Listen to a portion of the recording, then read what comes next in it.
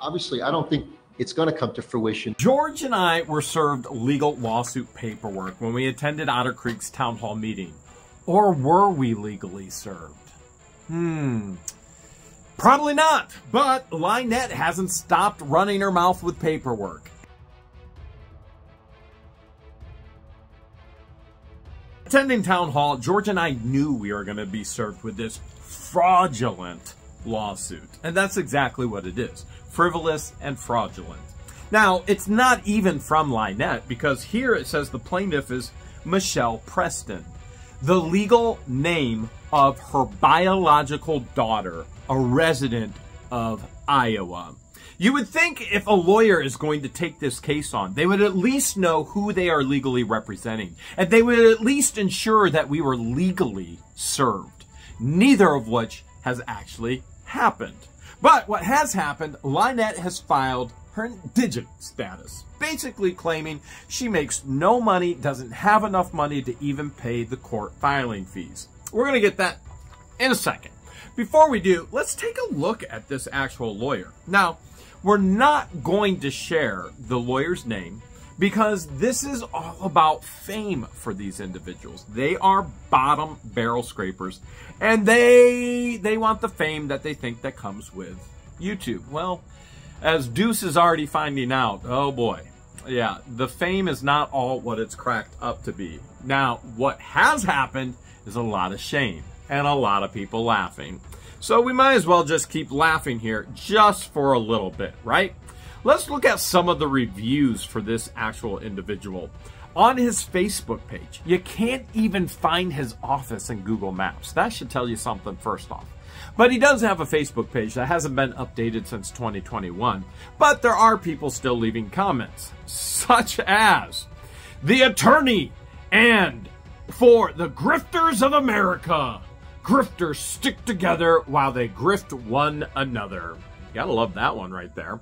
We've got uh, Marta Zizi Angelina Mustapazapina. Uh, I think I got that name right. I probably didn't. But goes on to say, where's the work I hired you for? I tried reaching you and your wife. No good phone numbers. I paid for two cases. Haven't provided me with the work. You or your wife under investigation. Don't call me back. Took my money. Haven't done any work for the cases. 19 weeks ago. 19 weeks ago. You think that might be a little bit of an issue? No, that's a huge issue. And these are the type of lawyers that are coming out of the woodwork to represent Lynette Oh no! No, please, no! All right. And somebody else says, Yep, I figured his wife must be the assistant. I'll be filing a bar complaint today after what I just experienced. That was eight weeks ago. And it goes on. And you know what? I can keep Christy. Christy goes on to say, Did you resolve your issue with this lawyer? Nope. Okay, let's see what else. We got more.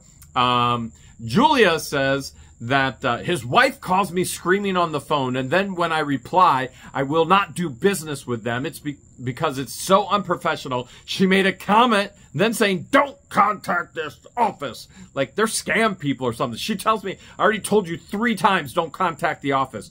Who says that? I have every right to contact the office and tell anyone about the behavior that I see fit from these lawyers. Seems real professional, right? Well, let's get into some more lack of professionalism. This whole paper right here. Lynette goes on under Deuce's control, right? With this other lawyer who's licensed in Florida who nobody would ever hire in their right mind to file a fraudulent or frivolous lawsuit, which, huh. She then fills out this paperwork for her civil indigent status, as you can see right here. In other words, I can't pay for anything. I can't pay for anything, including a house. All right, let's see what it says. Application here. I have one dependence. Okay. Annual spouse income zero. Wait, hold a second. She just got her soulmate back and now she's claiming she has no money. Uh, by the way, crook receives money. But we're going to see exactly what her net income is. It's $1,507.04. Now, where does that come from? Keep in mind, this is all public information. Well, it's Social Security benefits. For her, she's receiving $736 a month. For the child, she's receiving $638 a month. In other words, almost half of her income comes from the child. Now, that's not a good reason to attempt to adopt a child. The only good reason to attempt to adopt a child is out of love for the child, out of love for upbringing and growth into a healthy child. Regardless of what issues a child may have, your goal, as I've always said with my children, is to raise not children, but highly functioning adults in society and culture. If you want to raise a child, guess what you get? You get man child and women child, and there's plenty of them out there on YouTube. They act like toddlers. They are not mature in any stretch of the imagination. What you want is to raise a adult. All right, so she also says she gets other income, SSI, $132.70. So now we know where all the income is coming from, except she's not claiming any of these gifts coming from all of these individuals. You know, 7,000 here, 3,000 here, uh, 1,200 from Lloyd. I don't think I see the stolen refrigerator in here either. Oh, okay, so she says cash, she has none. She circles no, none. Well, I don't know, there's $300 of Lloyd still missing. Uh, bank accounts, she has none. Money market accounts, she has none. Boats! This is a lie. This is a downright lie. There is a boat with all the other heaps of pile of trash in the front yard. There literally is a small boat in the front yard. That's a lie. Oh my goodness. Okay, savings account. Nope. Stocks and bonds. Nope. Not like any of this is surprising. But uh, homestead real property. Whoa. Homestead real property. She put no. She marked it out and put yes. Huh. To homestead, which she is illegally claiming homestead, you must have a home based upon definition, which she does not. This is another lie. Motor vehicle. She circles yes and then she crosses it out and then she puts no. This is this is too much here. Motor vehicle circles yes, crosses out no. Homestead puts this is just crazy. Non-homestead, real property, real estate, no. Other assets, no. Hmm. You mean her soulmate's not an asset? Well, we know he's the first part of that word. All right, let's keep going on. Uh, she says, check one, I do not expect to receive any more assets in the near future, except those GoFundMe's are still out there. Actually, the one from Landon that was put up by Deuce has been taken down, which Landon claims he had absolutely nothing to do with, and frankly, I believe him. So, we've got more questionable, if not illegal, activity based on the Deuce. Okay, we've got motor vehicles. It says total liabilities. Motor vehicles, she's paying $732 a month liability on the Jeep Gladiator. Wait, oh, hold a second. What? Okay, here she says she has no motor vehicle. Here she says she's paying $732 a month on the motor vehicle. You would think that the courts are going to want to figure this one out, huh? And then her home. This is liter no joke home, $360 a month. Okay, the camper is not a home. You can't homestead a camper on a piece of property. The camper is illegally on the piece of property right now. They're supposed to be building a home, which they are not. Okay, credit cards. Uh, she has a liability. It looks like she maxed out her credit cards at $10,000. By the way, credit cards are a tool, and they are to be used to work for you. If you work for the credit card, you're a fool If the credit card works for you, it's a tool. So I use credit cards all the time. I never pay, I never pay a minimum. I always pay the balance at the end of the month. And that way I get money back, cash back. It's a tool that generates more income for me. Anybody who's running it up $10,000 obviously doesn't have money management experience, knowledge, or is just complete and total irresponsibility.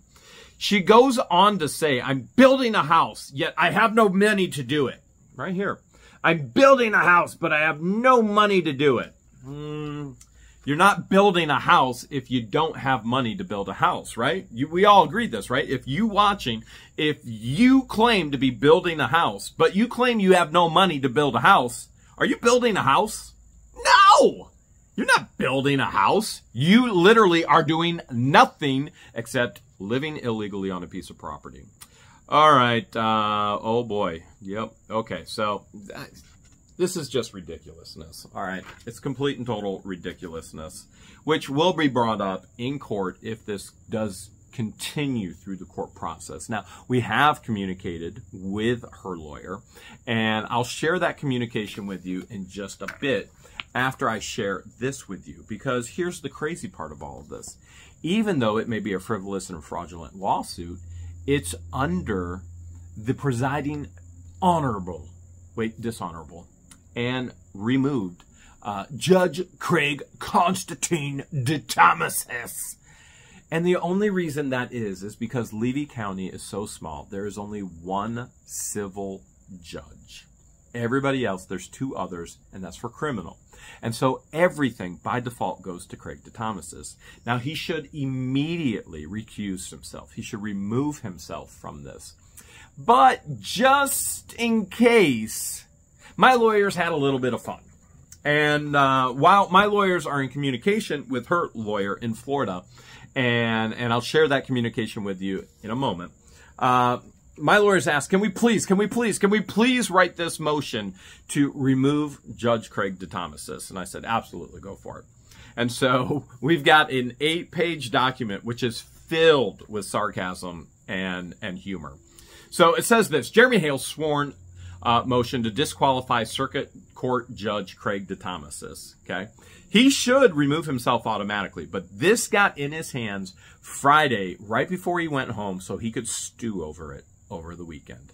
Intentionally, on purpose. Jeremy B. Hales, herein known as the defendant, moves to disqualify Circuit Court Judge Craig DeThomasis pursuant to Florida statute 3810, which gives litigants the substantial right to request disqualification of a trial judge for bias. And it goes on to say this preliminary statements. Defendant prays. And I do. I pray a lot. As a matter of fact, I've been praying for quite a few people. And you may not believe it, and you may not uh, realize it, but I even pray for Lynette and Crook. They need Jesus. The greatest thing that they could do is get their lives together and give them to Jesus to fix them. All right. Will it happen? I'm not sure. But uh, I do believe in the power of prayer. So defendant, defendant prays that when the trial court reads this motion, the trial court will keep an open mind. Craig DeThomasis, keeping an open mind. Hmm. Well, we'll find out. Number two.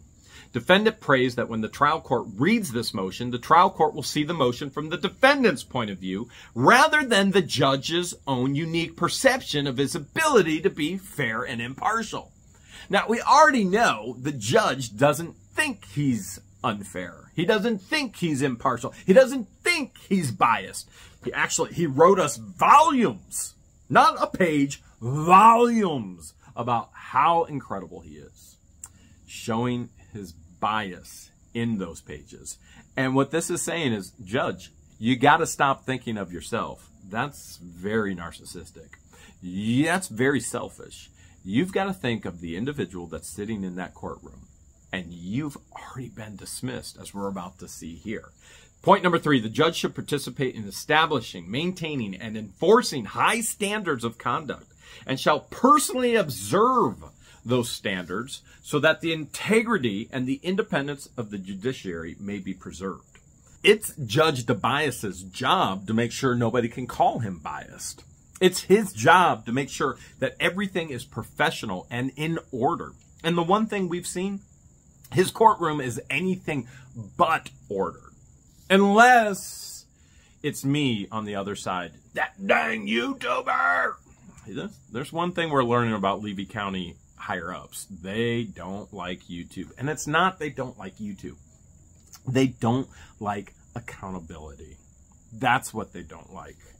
All right, let's keep going. Number four, in a de- democratic society, one who assumes to act for the citizens in an executive, legislative, a judicial, that means a judge, capacity, must expect that his official acts will be commented upon and criticized. That's case law, New York Times versus Sullivan. And that means, oh, he doesn't like YouTube. So what? If you don't like YouTube, don't watch or get another job.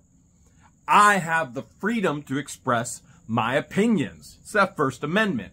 And everybody on the other side of YouTube has the freedom not to click on, not to watch, and not to listen. I can exercise my First Amendment speech all I want. You can exercise your First Amendment lack of wanting to hear from me. Now, I get it. It's not an amendment. You don't have to listen to anybody, anybody at all. You can stop. And so if he doesn't like it, he doesn't have to watch. But we all know he's watching. All right, based on this motion, number five, the First District Court of Appeals has only 16 days ago issued an extraordinary, extraordinary writ, specifically a writ of prohibition against this judge, finding that he was not impartial in my case, which the case involved is the same plaintiff, Miss Preston, Lynette, and myself, Jeremy Hales, and my same attorneys in this matter, a copy of the writ of prohibition against Judge Craig DeThomasis is being attached. So in other words, it's all the same players in the same courtroom, and he's already been removed in one case. That's a good thing. Number six, a writ of prohibition against Judge DeThomasis was issued on August 7th, 2024, and was not final today until 12.01 a.m. You see it right there? That's hilarious. Because this judge loves to go back to the record. At 12 uh, 1 second a.m. Yeah, this is sarcasm, and it's a slap back in his face because he's a fool. At 12.0001. So, in other words, what happened with this writ of prohibition? The appellate courts actually removed Judge Thomas's, but Lynette actually had a fair amount of time to appeal it. And even if she would have appealed it, it would have been wasted money that she doesn't have. And so I'm sure Silver Scam told her, no, we're not even going to touch it. And so they never even attempted to appeal, to fight back as far as the removal of DeThomasis. It was beyond evident to the planet how biased he was. And the unique thing of this as well as even though he was removed and there was time for them to appeal, this court actually went ahead as if it was never going to be appealed and assigned a judge to it, Judge Davis. And so it is officially 100% in the system now. They cannot appeal any longer. He is 100% gone. He is gone, baby. At 12 and 1 second a.m. on the day of the filing of this motion, which we really didn't need to file. But it's kind of fun. So, in, in this case, in the case where uh, where he was actually removed. On February 28th, 2024, two days before the actual petition of writ of prohibition was even written, Judge DeThomasis commented on the record as to whether or not the still unwritten petition would be successful on its merits by stating, obviously, I don't think it's going to come to fruition. Obviously, I don't think it's going to come to fruition. From the position of the defendant, Jeremy B. Hales, this statement was mind boggling. Which, by the way, that's sarcasm, making fun of Craig yet again. These are all terminology, things that he did in the courtroom, and now throwing it back in his face. And here comes the best part. Now that the fruit, remember, it's not going to come to fruition. Now that the fruit, number eight, no joke. Look, fruition and under fruition, you're going to see a couple lines down there, the fruit. It's so funny. now that the fruit has been produced and Judge DeThomasis has been proven wrong, the defendant fears that Judge DeThomasis will seek retribution against him if he's allowed to be a judge on this case. Absolutely. This man will try to do anything to get me somehow in trouble, even though I've done nothing. I don't know what the area's issue is with YouTube. I really don't. Except the aspect of accountability. Accountability. They don't want that accountability. The only time people don't want accountability is if they're doing something wrong. And that's why it's extremely important to be a citizen journalist. And many people have messaged us and say, Hey, I've got things going on in my own town. I've got things in my own cases. Will you cover it? No, we will not cover it. Don't ask us to cover it. That's your job to cover it. We never wanted to cover these things. We never wanted this to happen to us. We're not going to go outside of our own lives and start covering other things. That's not who we are. This is a scrapbook and the news story of our lives. And so that fruit absolutely proved Judge Craig DeThomasis wrong. In issuing a writ of prohibition against Judge DeThomasis, the first district, the appellate courts, said this. Number one, Judge DeThomasis should have recused himself on one or more of Hales's motions to disqualify.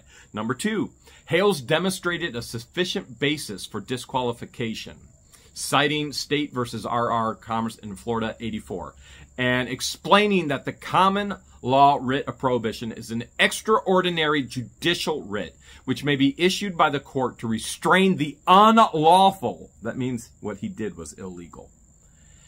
Unfortunately, he has immunity, which I don't think he should, nor do I think other officials should. So, can I go after him for all this money? No. I can go after the state, but who does that hurt? That hurts the taxpayers because ultimately that's the taxes that are paid to the state. I can go after the state, but why would I want to hurt all the tax base and all the taxpayers if I can go after the state if we find there was something very, very wrong going on? Okay.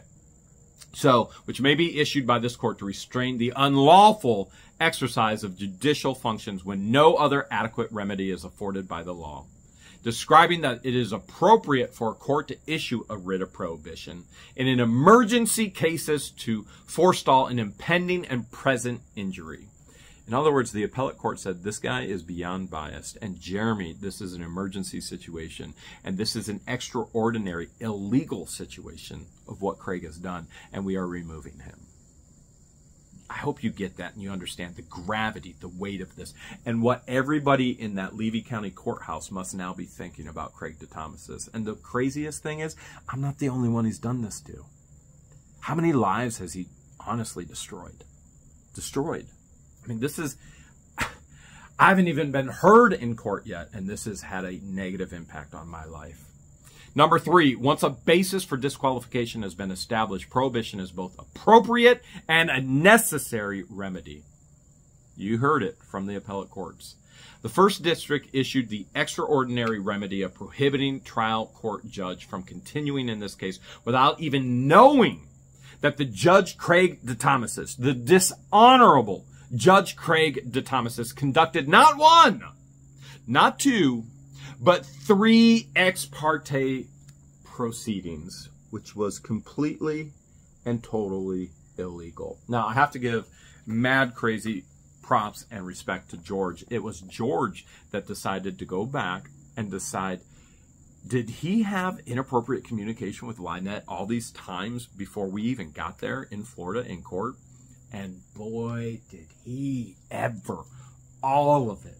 All of it illegal. And the appellate courts don't even know about that yet. That's what this is saying. The appellate courts don't even know that he did this illegal activity yet.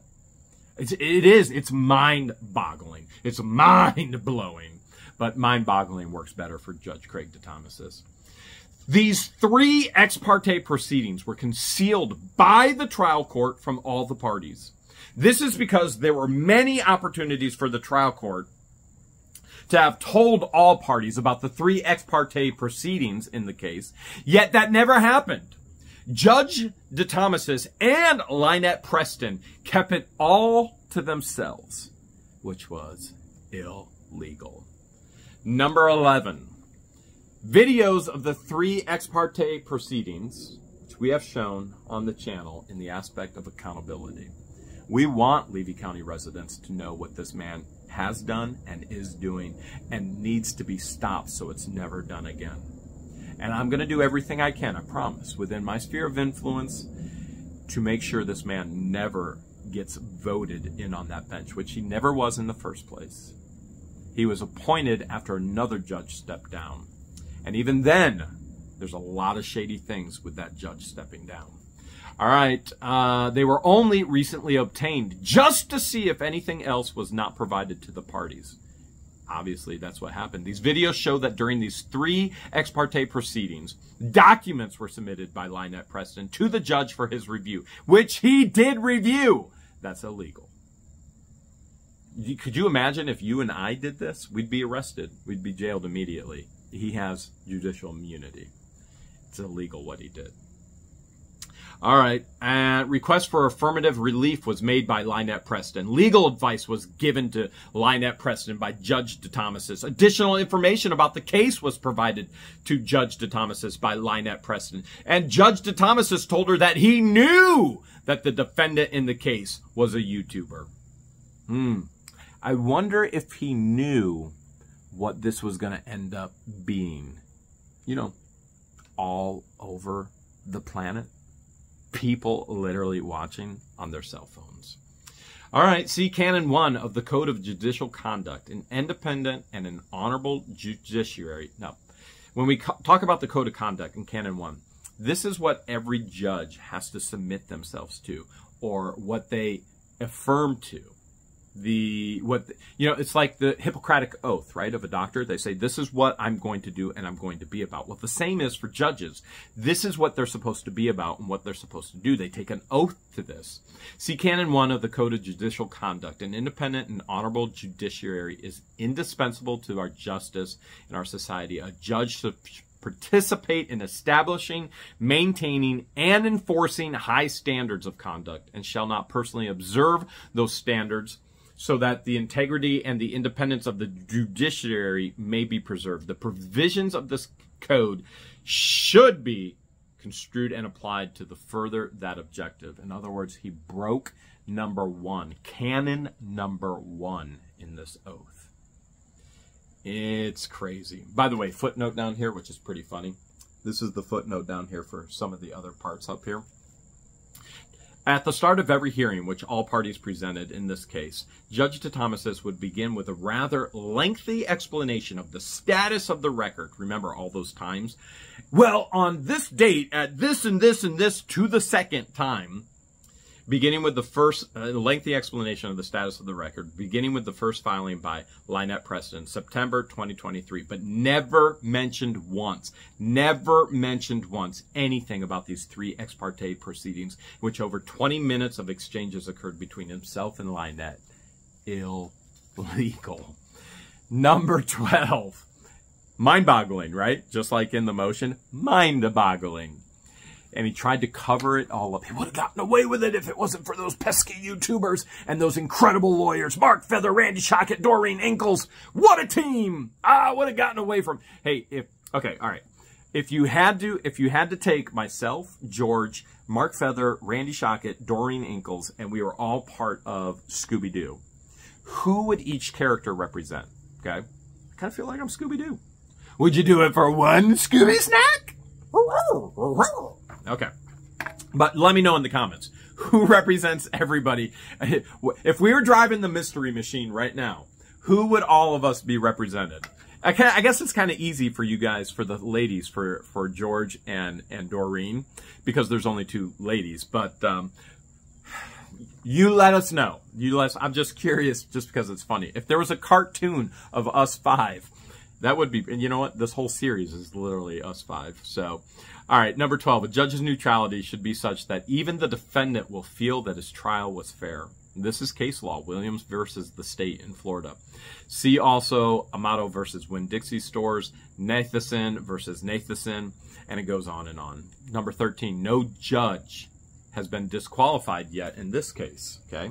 So while I don't believe this case is going to go forward by any stretch of the imagination, I'm going to share with you why in just a moment, Judge Craig DeThomasis has yet to actually remove himself or recuse himself, and he may not even know it's on his docket yet until he got this on Friday. But he definitely knows now, and yes, this is a slap in his face. And frankly, he, he deserves much more than that. And I don't mean physically, I mean legally. What he did was illegal. It was wrong. And when a judge has immunity and can't be held accountable for that, I think that's completely and totally wrong. I don't like it that politicians, I don't like it that judges, I don't like it, you know, even officers have a degree of immunity. What's good for all or what's good for one should be good for all. We should all have the same standards. Number 14, judicial neutrality is critical to our legal system. Whether a motion to disqualify a judge is legally sufficient requires a determination as to whether the alleged facts would create a reasonable, prudent person a well-grounded fear of not receiving a fair and impartial trial. See MacKenzie versus Super Kids Bargain Store. Wherefore, this is the conclusion. Jeremy Hales, having met all the requirements for to bring this motion, respectfully, I don't respect the man, I respect the system. Respectfully request Judge Craig DeThomasis disqualify himself from the proceeding further in this cause, and that another judge be assigned to the case, together with any further relief from this court deems just and equitable. And then you, you you're gonna have you're gonna have my signatures, but here's probably uh, the the best part right here is is more attachments in regards to him being removed and the explanation from the appellate courts. So automatically, Judge Craig DeThomasis should be recusing or removing himself. But the other aspect of it, this horrific lawyer, in other words, lack of clients and obviously uh, more time on his hands than he knows what to do with, is going, oh, that's a YouTuber. He might have some money. Well, that's no reason to file a frivolous lawsuit. And so what's happened in this case, both George and I have filed for an extension in a motion. So motion form, extension. We've given them so much time and this is gracious on our part. I, I, want to make this so abundantly clear. This is extremely gracious on our part because this man was recruited by Deuce, who doesn't know what ethics is, doesn't know what honorable means, doesn't know what, and we could go on and on, right? And probably has been promised all kinds of things that don't exist, that can't even be received.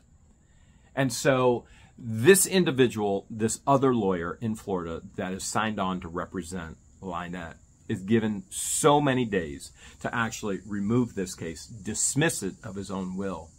Because if he doesn't, he's going to incur countersuits, which he personally will be liable for out of his own pocket. He will not be making any money. He will be spending all the money and he will be paying myself, George, and two other individuals as well. That's Florida law.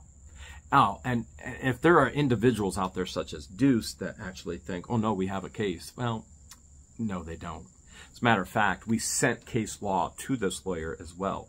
Oh, by the way, uh, within the statute they're citing that they can sue, oh, there was a YouTuber issue and a lawsuit. And guess who won? the YouTuber. Guess who's going to continue to win? The YouTuber.